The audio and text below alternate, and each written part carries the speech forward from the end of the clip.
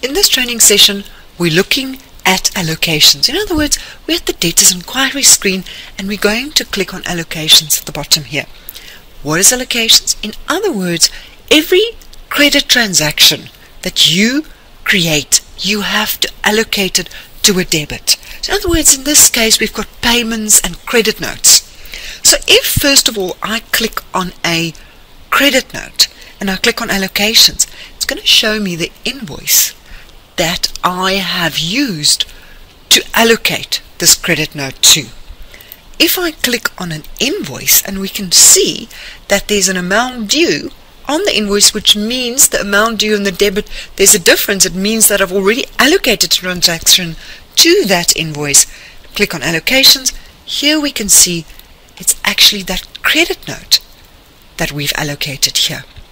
If you click on an invoice where the amount due and the debit is the same and you click on allocations, a little screen will come up saying there's no allocations. In other words, nothing's been allocated yet.